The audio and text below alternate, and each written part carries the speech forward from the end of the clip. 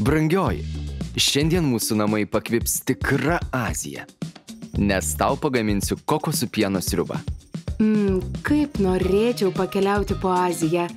Gerai, kad savo patiekalais kartais ten mane nukeli. Taip, juk keliauti galima ir virtuvėje. O kad ją paruoščiau tris ar net keturis kartus greičiau nei įprasta, naudosiu zylę multifunkcinį greitpadį, kuriame maistas išlieka skanesnis ir sveikesnis. Ir mums sutaupo iki 70 procentų energijos sąnaudų, lyginant su maisto ruošimu įprastuose puoduose.